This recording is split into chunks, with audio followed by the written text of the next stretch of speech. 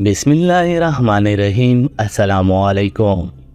दोस्तों, सुल्तान सलाउद्दीन अयूबी दुनिया के इन अजीम तरीन हुक्मरानों में से वो वाद हुक्मरान थे, जो अपने सबसे बड़े वफादार सिपाही पर भी कभी आँख करके भरोसा नहीं कर सकते थे। वक्त गुजरने लगा। एक दफ़ा सुल्तान सलाउद्दीन अयूबी रहमत और आपकी जोजा खातून के दरमियान अहम राज, जो सुल्तान और आपकी जोजा के दरमियान होते थे, वो दुश्मन के पास जाने लगे। हती कि सुल्तान सलाउद्दीन अयूबी जो सबसे अहम खतूत होते, वो अपनी जोजा को दे देते। लेकिन चंद दिनों के बाद वो खतूत सुल्तान सलाउद्दीन अयूबी के महल से गायब हो जाते और वो खतूत दुश्मनों के किलों में पहुँच जाते। लेकिन हैरानी की बात तो ये थी कि सुल्तान के कमरे के इर्द गिर्द सख्त पैरा होता और सुल्तान सलाउद्दीन अयूबी कोई भी अहम खतूत। या कोई राज की बात सिर्फ़ ईशा की नमाज़ के वक्त अपनी जोजा को बताते और इस वक्त कमरे के इर्द गिर्द बहुत मुहाफ़ होते और हती कि सुल्तान की आवाज़ इतनी कम होती कि कमरे के कोने में खड़ा आदमी भी नहीं सुन सकता था। लेकिन हैरानी की बात तो ये थी कि आखिर सुल्तान सलाउद्दीन अयूबी के इतने बड़े राज दुश्मनों के पास कैसे जाने लगे और इस वजह से सुल्तान सलाउद्दीन अयूबी को एक दफ़ा बहुत बड़ी शिकस्त का भी सामना करना पड़ा। जब ये बात सुल्तान तक पहुँची कि सुल्तान के अहम राज जो आप अपनी जोजा को बताते हैं वो दुश्मनों के पास जाने लगे। तो सुल्तान सलाउद्दीन अयूबी बहुत देरान और परेशान हो गए और एक बुज़ुर्ग को अपने महल बुलाया और उससे तदबीर पूछी। तो इस बुज़ुर्ग ने कहा, सुल्तान मुआसम आज रात जब आप अपनी सोजा के साथ कमरे में आराम करने लगना तो इस वक्त एक गिलास पानी का दोस्तों दुनिया की तारीख के अंदर बड़े बड़े सुल्तान गुजरे बड़े बड़े बादशाह गुजरे और बड़े बड़े हाकिम गुजरे। लेकिन इस्लाम की तारीख में सुल्तान सलाउद्दीन अयूबी वो वाहिद सुल्तान हैं, जिन्होंने हज़रत उमर फ़ारूक रज़ील्लाहु ताला के बाद मुसलमानों की किबला अवल यानी के बैतुलमुक़द्दस को सलेबियों से छुड़वाकर मुसलमानों के कब्ज़े में दिया था और ये एजाज़ आपके बाद किसी को न मिला हती कि आपने अपने दुश्मनों के दिलों में अपनी खौफ की इतनी दाग बिठा दी कि सुल्तान के इस दुनिया के जाने के चंद सदियों बाद भी दुश्मन आपकी बहादुरी से खौफ खाते और यही वजह थी कि सल्तनत उस्मानिया के बानी अरतरुल गाजी के बाप सलमान शाह जब हिजरत करके हल्ब आने लगे तो सलेबियों ने साजिश करके मुसलमानों के सुल्तान अलजीज को इस बात पर मजबूर कर दिया कि वो कई कबीले के लोगों को हल्ब की सरजमीन पर दाखिल न होने दे, क्योंकि सलेबियों को खौफ था कि, क्योंकि इससे पहले वो जानते थे कि इसी तरह एक छोटे से कबीले के अंदर पलने वाले नौजवान, जिसका नाम यूसुफ था, और बाद में वो सलाउद्दीन अयूबी बन गया। उसने मुसलमानों की तकदीर पतर डाली थी। और यही वजह थी कि सुल्तान सलाउद्दीन अयूबी का खौफ आपके जाने के बाद, कई सदियों तक गुजरने के बाद भी दुश्मनों के अंदर मौजूद है। और सुल्तान सलाउद्दीन अयूबी रहमत की बड़ी बड़ी फतूहत और कामयाबियों के पीछे बहुत अहम रास्ते जो सबसे बड़ी ताकत सुल्तान सलाउद्दीन अयूबी के पास थी। वो ये थी कि सुल्तान सलाउद्दीन अयूबी अपने अलावा किसी पर ज़रा भी भरोसा नहीं करते थे। अक्सर औकात सुल्तान सलाउद्दीन अयूबी जासूसी करने के लिए खुद चले जाते।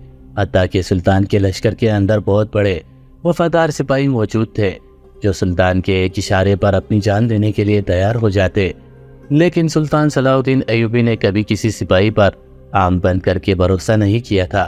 लेकिन सुल्तान सलाउद्दीन अयूबी अपनी ख्वाजा असमतुद्दीन खातून के साथ चंद अहम राज जो सुल्तान सलाउद्दीन अयूबी सबसे अहम समझते थे, अपनी जोजा को ज़रूर बताते।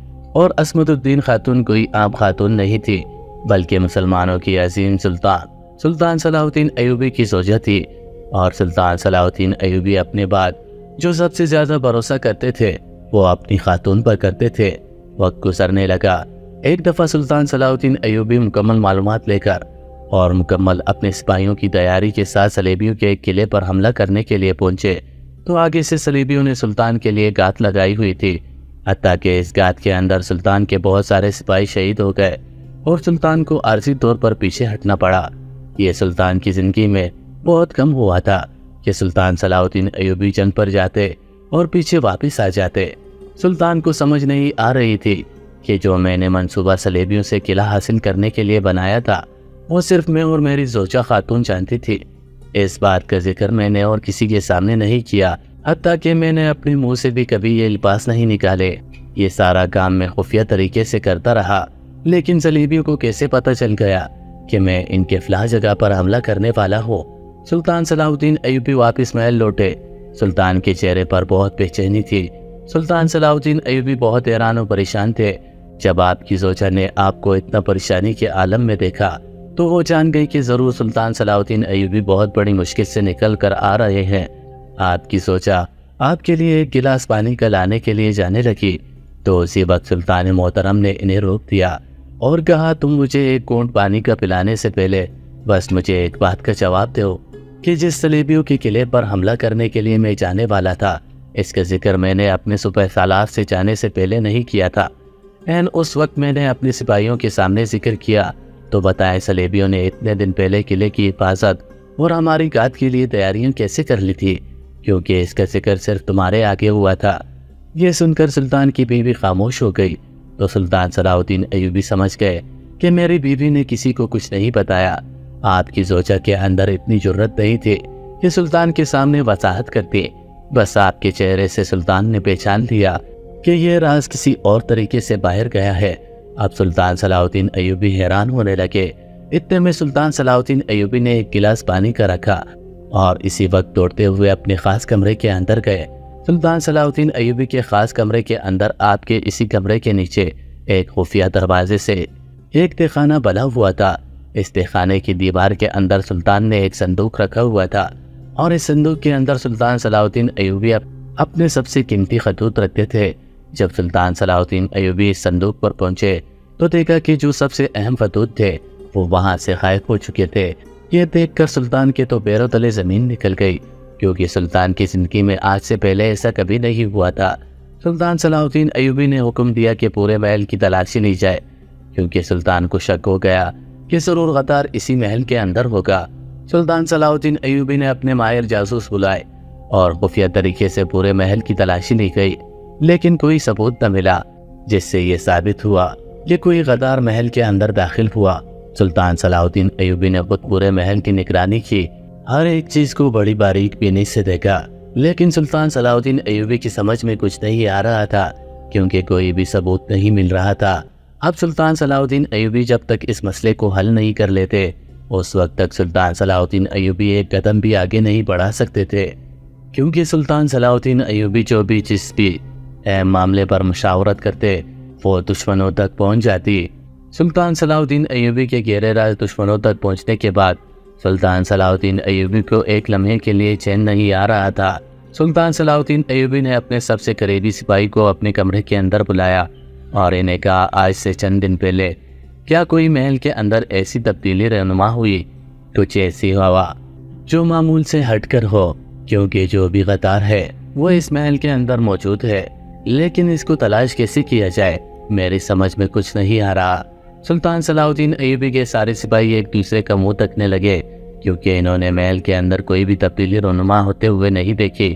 सुल्तान सलाउद्दीन अयूबी सख्त परेशान हो गए और शाम के वक्त अपनी सोजा को अपने कमरे के अंदर बुलाया और कहा, तुम तैयारी करो, हम चल रहे हैं। खातून ने उसी वक्त तैयारी पकड़ी। सुल्तान सलाउद्दीन अयूबी ने अपनी बीवी को घोड़े पर बिठाया और सुनसान वादी के अंदर ले गए। सारे सिपाही हैरान थे कि आखिर सुल्तान सलाउद्दीन अयूबी अकेले अपनी सोजा को लेकर कहाँ जा रहे हैं? क्योंकि इससे पहले जब भी सुल्तान कहीं बाहर जाते, चंद खास सिपाही आपके साथ ज़रूर होते। सुल्तान सलाउद्दीन अयूबी ने अपनी बीवी को घोड़े पर बिठाया और सुनसान वादी के अंदर ले गए। सारे सिपाही हैरान थे कि आखिर सुल्तान सलाउद्दीन अयूबी अकेले अपनी सोचा को लेकर कहाँ जा रहे हैं, क्योंकि इससे पहले जब भी सुल्तान कई बाहर जात चंद खास सिपाही आपके साथ ज़रूर होते। जब सुल्तान सलाउद्दीन अयूबी इस वादी के अंदर पहुँचे तो आपकी जोजा ने पूछा हजूर आखिर ऐसी क्या वजह हुई कि आप मुझे इस वादी के अंदर ले आए? तो सुल्तान ने कहा, मैंने तुमसे कुछ खास बातें पूछनी थी। ये सुनकर आपकी खातून ने कहा, हजूर, सबसे महफूज जगह आपका कमरा है तो फिर आप मुझे यहाँ क्यों ले आए? तो सुल्तान ने कहा, मेरा कमरा महफूज था, लेकिन अब नहीं रहा, क्योंकि जो राज इस कमरे के अंदर खुला, वो वो चंद ही दिनों के अंदर, इतने दूर किले के अंदर चला गया तो मैं इतना बेवकूफ़ तो नहीं कि न समझ सकूँ कि आखिर बंद कमरे के अंदर होने वाली बातें इतने दूर कैसे जा पहुँची। ज़रूर इस कमरे के अंदर कोई गदार मौजूद है, लेकिन हमें नज़र नहीं आ रहा। आपकी सोचा बड़ी हैरान और परेशान हो गई, क्योंकि इसने सुल्तान को इससे पहले इतना ज़्यादा परेशानी में कभी नहीं देखा था। सुल्तान की बीवी ने कहा, हजूर, अब आगे का क्या इरादा है? हम इस कतार को कैसे तलाश करेंगे? ये सुनकर सुल्तान सलाउद्दीन अयूबी ने कहा, मैं तुमसे जो पूछता हूँ, तुम मुझे बताती जाना। बस आपकी बातों से ही मैं गद्दार को तलाश कर लूँगा। आपकी जोजा बड़ी हैरान और परेशान हो गई। और कहा ज़ोर मेरी बातों में आपको कैसे गद्दारी की पहचान होगी? सुल्तान ने कहा, बस जो मैं पूछता जाऊँ, वो तुम बताती जाओ। लेकिन हाँ एक बात याद रखना, तुमने किसी भी बात का जवाब गलत नहीं देना। जो सच हो, वही बताना। वरना तुम्हारी एक गलती से हमारी कई सिपाहियों की जान जा सकती है। अब आपकी वजह सुल्तान के सामने बैठी। सुल्तान के सारे सवालों के जवाब देने लगी। सुल्तान ने कहा, बताओ क्या तुम आज से चंद दिन पहले महल से बाहर किसी से मिलने गई थी? इसने कहा, नहीं हजूर, मैं तो किसी से नहीं मिलने गई। तो फिर सुल्तान ने पूछा, क्या कोई महल के अंदर आपका ऐसा कोई खास मेहमान आया जो आज से पहले कभी ना आता हो? जिसकी सोचा ने कहा, नहीं हजूर, मेरा नया मेहमान पहले जो कभी ना आया हो, वो कभी नहीं आया। हाँ बस मेरी एक दोस्त है, जो कि ईसाई मज़हब से ताल्लुक़ रखती थी, लेकिन एक दफ़ा मैंने इसकी जान बचाई तो वो मुसलमान हो गई, और इसकी और मेरी दोस्ती हो गई तो तो वो हर माह मुझसे मिलने के लिए मेरे महल आती है। तो सुल्तान ने कहा, क्या इसके साथ कोई और था? तो सुल्तान की जोजा ने कहा, नहीं, सुल्तान मुआजम इसके साथ जो सिपाही थे, वो बाहर ही रुक गए थे। बस मैं इसे अपने कमरे के अंदर ले गई थी। ये सुनकर सुल्तान ने कहा, क्या इसके साथ कोई और चीज़ थी? या इसने तुम्हें कोई चीज़ तोहफे में दी थी? उसने कहा, नहीं सुल्तान मुआजम, उसने मुझे कोई खास चीज़ तोहफे में नहीं दी। फिर सुल्तान ने कहा, आखिर माजरा क्या है? कोई तो बात है, जो मुझसे छुप रही है। तो इतने में खातून ने कहा, सुल्तान मुआजम हाँ एक बात तुम्हें बताना भूल गई। एक खूबसूरत पुतला जो कि बिल्कुल आपकी शक्ल को देखकर बनाया गया, वो हमारे कमरे के अंदर जो रखा गया है, वो मेरी दोस्त ने मुझे दिया था। ये सुनकर सुल्तान ने कहा, वही पुतला जिसके बारे में मैंने तुमसे पूछा था। सुल्तान की जोजा ने कहा, जी हाँ सुल्तान मुआजम, वही पुतला। ये देखकर सुल्तान सलाउद्दीन अयूबी ने इसी वक्त अपनी बीवी को बाजू से पकड़ा, घोड़े पर बिठाया और महल ले आए। खातून अभी महल के सहन में थी। कि सुल्तान सलाउद्दीन अयूबी दौड़ते दौड़ते अपने इस खास कमरे के अंदर जा पहुँचे, जिसके अंदर सुल्तान सलाउद्दीन अयूबी अपनी जोजा से अहम मामला पर बातें किया करते थे। सुल्तान सलाउद्दीन अयूबी अपने कमरे के अंदर पहुँचे तो सुल्तान ने इस पुतले को अपनी जगह से हटाया तो सुल्तान के रोंगटे खड़े हो गए। क्योंकि असल में इस पुतले के अंदर एक एक खास खोल बनाया गया था, जो कि इस पुतले के अंदर खड़ा हो सकता था, और किसी को महसूस भी नहीं हो सकता था, क्योंकि वो पुतला अंदर से खोखला था। और बाहर से एक खास किस्म के पत्थर से तराशा गया था। और सबसे हैरानी और परेशानी की बात तो ये थी कि इस पुतले के नीचे एक लकड़ी का तख्ता था। जब सुल्तान सलाउद्दीन अयूबी ने इस लकड़ी के तख्ते को पलटा तो नीचे एक सुरंग नज़र आई। ये देखकर सुल्तान के होश उड़ गए कि ऐसी सुरंग, जो बिल्कुल सुल्तान के कमरे के अंदर मौजूद है। और मुझे खबर नहीं, सुल्तान सलाउद्दीन अयूबी ने इसी वक्त हुक्म दिया कि मेरी जोजा को बुला कर लाओ। सिपाही बुला कर लाए तो सुल्तान ने कहा, क्या इस पुतले को आपकी दोस्त ने यहाँ रखा था? इसने कहा, नहीं सुल्तान मुआजम इस पुतले को मेरी दोस्त के दो मुलाजिम थे, इन्होंने यहाँ रखा। सुल्तान ने कहा, क्या वो इस पुतले को इस कमरे के अंदर रखने के लिए आए थे? इन्होंने कितना वक्त लगाया था? तो सुल्तान सलाउद्दीन अयूबी रहमत की सोचा ने बताया, सुल्तान मुआजम इन्होंने पुतले को रखा, लेकिन पुतला वहाँ हिलने लगा तो इन्होंने चंद लगाए। और इस पुतले को वहाँ पर सीधा तरीके से रखा। लेकिन इस वक्त मैं अपनी दोस्त के साथ बातों में मसरूफ थी और मैं देख न सकी कि आखिर वो पुतले के साथ क्या कर रहे थे। ये देखकर सुल्तान सलाउद्दीन अयूबी ने उस वक्त पुतला उसी जगह पर रख दिया और अब इंतज़ार करने लगे जैसे ही आधी रात का वक्त हुआ। तो सुल्तान सलाउद्दीन अयूबी अपनी तलवार निकाल कर पुतले के करीब बैठ गए। वह सुल्तान सलाउद्दीन अयूबी ने पुतले के साथ कान लगाना शुरू कर दिए। चंद ही लम्हे गुजरे। सुल्तान को महसूस हो गया कि इस पुतले के अंदर आज से पहले जो भी जासूस आता था, वो अब पहुँच चुका है। इस पुतले की आँखों से वो सारे मंजर देखता और इस पुतले के लगे हुए कानों से वो सारा कुछ सुन लेता था। बस सुल्तान सलाउद्दीन अयूबी ने इसी वक्त पुतले के ऊपर तलवार मारी। पुतला टूट गया और इसके अंदर मौजूद गद्दार ज़मीन पर गिर गया। सुल्तान सलाउद्दीन अयूबी ने इसको पकड़ा और पूछा, तुम कौन हो? और आखिर मुकम्मल मंसूबा बताओ। इसने कहा, सुल्तान मुआजम आपकी जोजा की जो दोस्त थी, इसको हमारे बादशाह ने पकड़ा और इसे जान से मारने की धमकी दी। इसके बाद इसने वादा किया कि मैं ये पुतला आपकी जोजा के पास लेकर जाने में मदद करूँगी।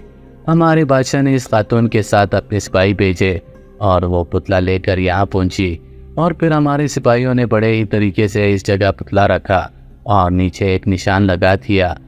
निशान लगाने के बाद इन्होंने पुतला ऊपर रखा और वहाँ से चले गए। लेकिन वो सिपाही इतने माहिर थे कि इनको पता चल गया कि हम यहाँ से सुरंग, महल से बाहर कैसे ले जाएँ। वहाँ से जाने के बाद इन सिपाहियों ने वहाँ सुरंग खोदना शुरू कर दी और वो सुरंग सीधा इस पुतले के नीचे जाकर खुली। इस पुतले के अंदर होल था, जिसके अंदर एक आदमी बड़ी आसानी से खड़ा हो सकता था और आपको पकड़ना इसलिए मुश्किल हो गया। क्योंकि मैं इस सुरंग के ज़रिए इस पुतले के अंदर दाखिल होता और रात के वक्त आप जो भी बातें अपनी खातून से करते वो सारी सुन लेता और बातों ही बातों में मुझे ये भी पता चल गया था कि अफला संदूक के अंदर आपके सारे खतूत पड़े हुए थे। ये देख कर सुल्तान सलाउद्दीन अयूबी को सख्त गुस्सा आया और सुल्तान सलाउद्दीन अयूबी ने इसी वक्त इस खातून को गिरफ़्तार करने का हुक्म दिया और उसका सर कलम कर दिया। मजीद ऐसी सबक वाक़ात और कहानियों के लिए हमारे चैनल दिल जमील सीरीज़ को ज़रूर सब्सक्राइब कर लीजिएगा। अल्लाह हाफिज़।